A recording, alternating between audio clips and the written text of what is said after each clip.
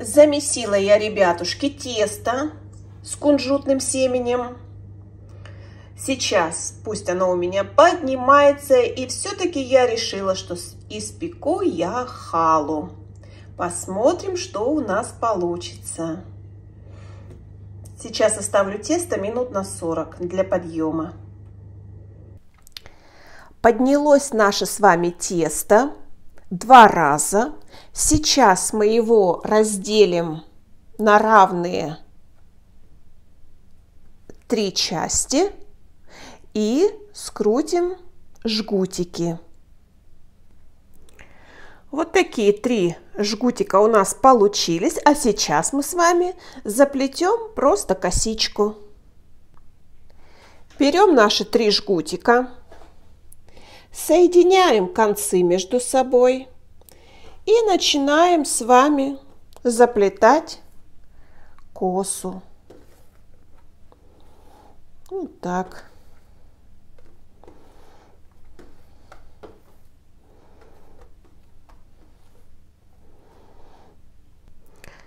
Вот такая косичка у нас с вами получилась.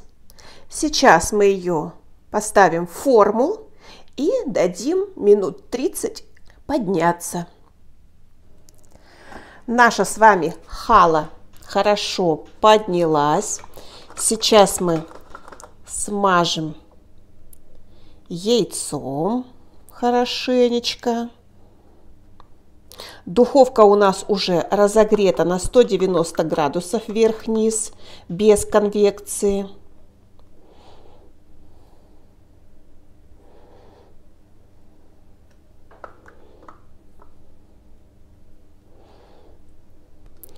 Яйцом хорошенько смазали. И для красоты я еще сверху посыплю немножко кунжутом. В тесте у нас тоже кунжут. Вот так вот, ребят. И ставим в духовочку. Точное время я скажу уже после приготовления, сколько потребуется. Ну, минут 50, наверное, точно. Достаем, ребята, наш хлебушек, нашу халу. У меня 30 минут, когда прошло, я накрыла силиконовым ковриком. Вот такая красота у нас с вами получилась. На выпекание ушло ровно 50 минут.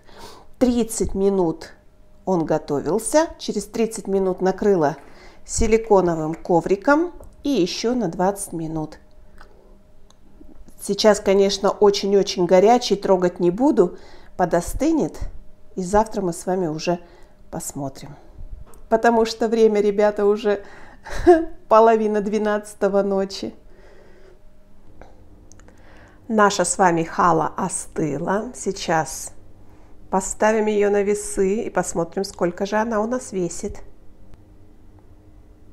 Вес нашей халы 921 грамм. Вот такая не маленькая. Очень даже приличная буханочка. И вот такая она у нас с вами внутри. Очень мягкий хлебушек. Надавливаю и сразу обратно. Сейчас будем пробовать.